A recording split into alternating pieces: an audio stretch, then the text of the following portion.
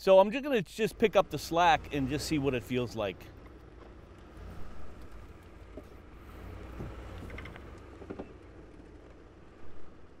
Morning folks, my name's Chris Komar. I'm here at Team O'Neil and we have a Ford Fiesta stuck in a ditch. It's kind of inevitable here at, um, when we're training. Um, if you've been here to Team O'Neil, you might have found yourself in this position. So we're just going to talk a little bit about some of the things that we do to get these vehicles out safely, efficiently, and without too much damage.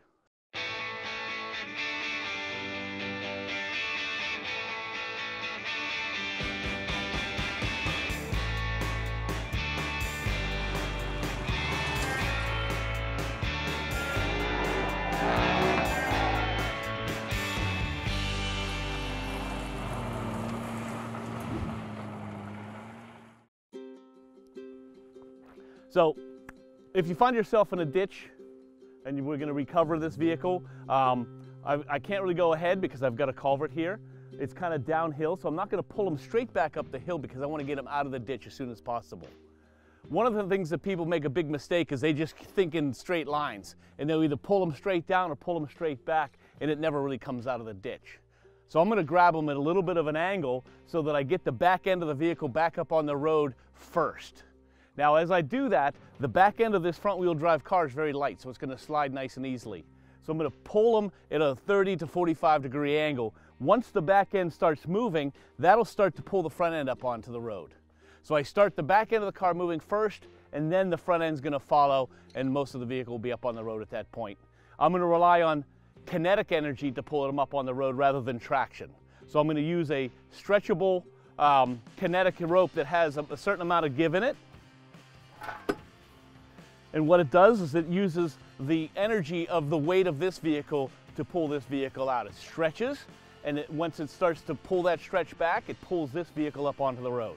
So we're gonna use the weight of this vehicle to pull this one. I got a bow shackle here. I'm gonna hook up to the recovery point.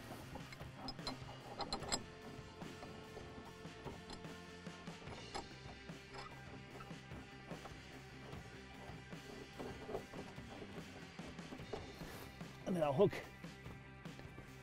my recovery rope to the tow jaw here. Now we want to use approved recovery equipment and recovery points um, for the type of work we're doing. And another thing about using the, uh, the kinetic energy is it's a little nicer on the, the, the recovery points. It doesn't create so much of a, a strain. So we've got Drew in the car here. He's gonna uh, follow what we need to do. Whether I need some help with the engine and gear, might have him hold the brake, might have him pull the handbrake. And I certainly want him to, to lock the vehicle down when we finally get out so it doesn't roll away and cause another problem. So I'm gonna hop in, give it a whirl.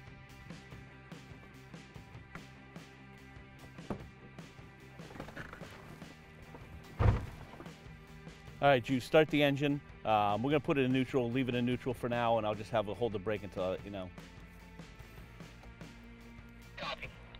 All right, so I'm gonna give you a couple of little hits. Just, uh, just let go of the brake when I hit you and we'll see what happens.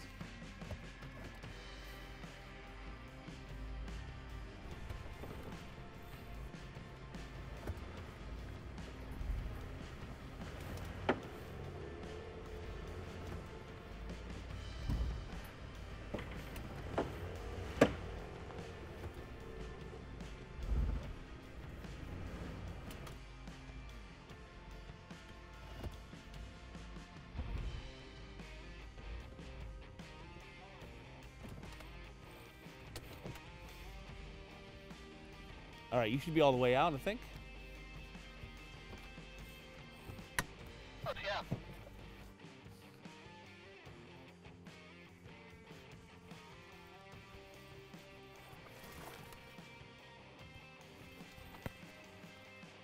All right, how'd that feel?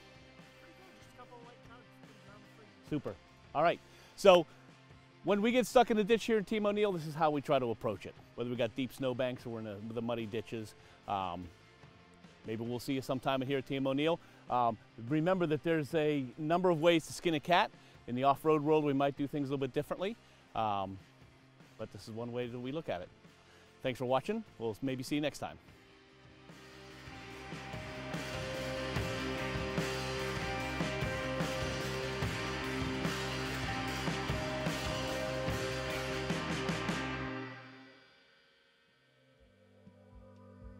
Hey, this is Chris Sear, CEO and partner at Team O'Neil.